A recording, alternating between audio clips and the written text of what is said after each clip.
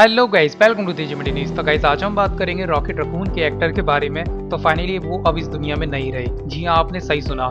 जैसा कि आप पीछे बिहाइंड द सीन इमेजेस देख रहे होंगे, जो कि पेड़ लगा हुआ है। एक छोटी सी कब्र बनी हुई है। और देन वो सोफे पे बैठा हुआ है। तो ये एक रियल लाइफ रॉकेट रकून था, जो कि मावल एवेंजर्स में, यानी कि मावल सिनेमैटिक यूनिवर्स में रॉकेट रकून की जगह एक्टिंग करता था। जी हाँ अब एक्टिंग कैसे?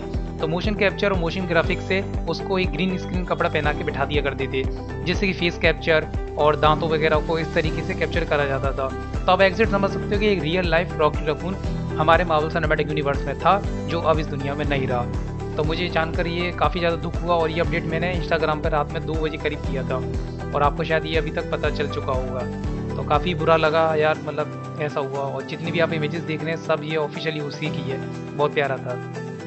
तो जैसा भी हुआ अच्छा ही था मतलब कैरेक्टर तो आज के लिए बस इतना ही। Thank you for watching this video